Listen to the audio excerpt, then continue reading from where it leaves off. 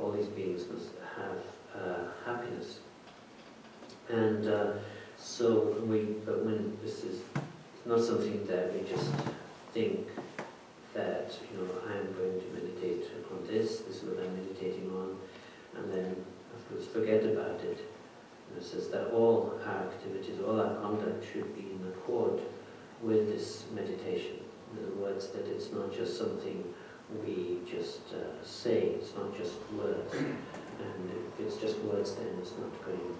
to be powerful.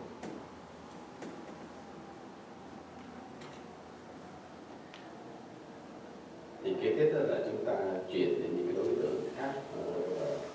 để phát lòng từ bi họ chúng ta nghĩ đến những cái đối tượng như những kẻ mà có tâm giết hại chúng sinh rất là nhiều thì những như vậy tạo những ác huệ chắc chắn là khi chết họ sẽ đọa địa ngục thì khi mà hiểu như vậy rồi mình phải phát lòng từ bi đối họ rồi kế tiếp là những cái kẻ địch hay hãm hại hay làm hại mình hay là hãm hại chúng sinh khác mình cũng quán chiếu rồi phát lòng từ bi với họ. Thì như vậy tức là chúng ta bắt đầu bằng những đối tượng mà chúng ta dễ phát cái lòng thương yêu từ bi. Rồi chúng ta quán những, những đối tượng khó hơn. Rồi sau đó, đó thì chúng ta mới quán tức là chúng ta đã sống qua vô lượng kiếp. Mà như vậy là quán chiếu là khi người mẹ của mình kiếp này thương yêu, chăm sóc ơn nuôi lớn dưỡng dục mình như thế nào? Rồi sau đó quán chiếu tiếp đến những lời trước, vân thì sẽ, mình sẽ đi đến kết luận là tất cả chúng sinh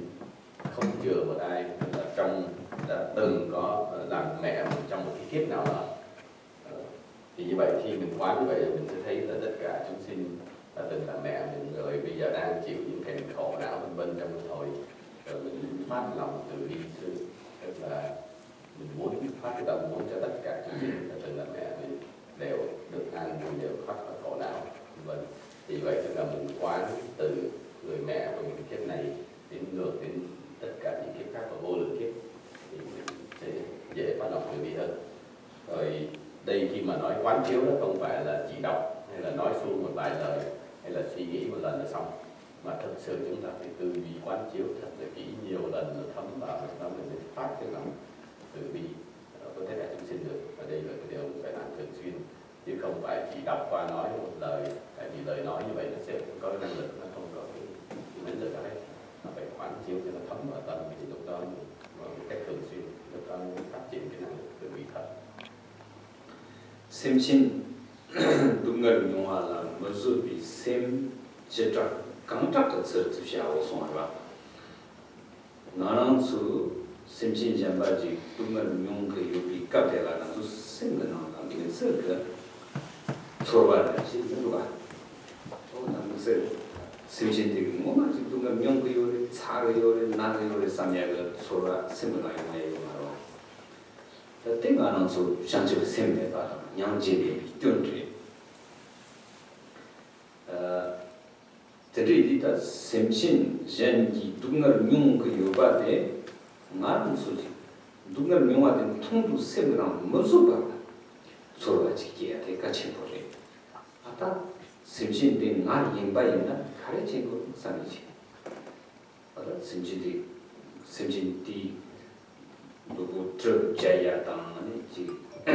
ba ba shi ya de de ka de nga semshin de yin na ka re chen ko sa ni gu sam ya a da te ta su su ta sem sin sha ba te chu wa tu nga ba te ji mu ja me ko ra nga yin na ta ka ta chi gu sam ya de de ta ju ma ma yin bi mu su bi tu nga yo re sam ya de de ta mu shi ni shi yu ya te ka chi gu re ma to se nga no so yin na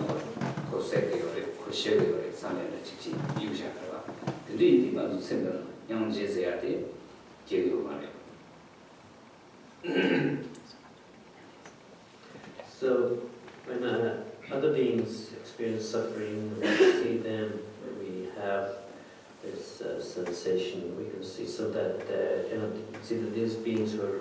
really suffering, they're in pain, but that we we just lack uh, the we lack the bodhicitta,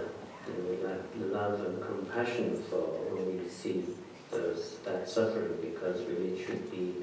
uh, unendurable to see. We should be thinking, well, what would it be like? For us, if this was happening to us, just being you know, cut with a knife or being skinned, how would it feel? So it's uh, that we should be able to change our place with them and think, you know, what would that, what would that be like if I am in that situation? And so on has that true certainty of uh, the kind of suffering that they are experiencing. Not just think, oh, tho- those beings, they suffered, they died, and forget about them. Then, in that case, then there isn't any, any compassion. thì đối với cả chúng sinh mà mình gặp ví dụ họ đang chịu cái cảnh khổ ờ, như thế nào nữa mà khi mà chúng ta gặp đó, chúng ta có cảm hay không Ờ, hay là cảm xúc, thì cảm động không là bởi vì là do chúng ta có cái lòng từ bi hay không đó. mà bây giờ là mình có cảm không cảm đó bây giờ chúng sinh gặp, mình biết là khổ đó. nhưng mà mình không cảm thì vẫn không cảm thì như vậy đó là bởi vì mình không có lòng từ bi đó. ví dụ như bây giờ mình phải quán chiếu ờ, một chúng sinh nào đó đang bị xẻ thịt lột da để cho người ta ăn thịt thì nếu mình không có lòng từ bi thì mình chẳng cảm hết chẳng xúc động thì cứ thỏa nhiên chết thì cứ chết. Thuộc vấn đề nhưng mà nếu mình tự tưởng tượng mình bây giờ ở trong cái hoàn cảnh đó bị người ta sẽ thịt đột da làm thịt thì mình sẽ thấy sao? Mình sẽ thấy khổ. Nhưng mà nếu không có lòng từ bi thì người khác bị mình cũng không có cảm. Thì vậy cái quan trọng đó là phải quán chiếu lòng từ bi phát triển cái lòng từ bi thì lúc đó mình sẽ cảm xúc được cái cảm động khi trước cái cảnh khổ của chúng sinh khác. Ừ, sẵn. Nhưng không mặc số đẹp stop for the lunch break.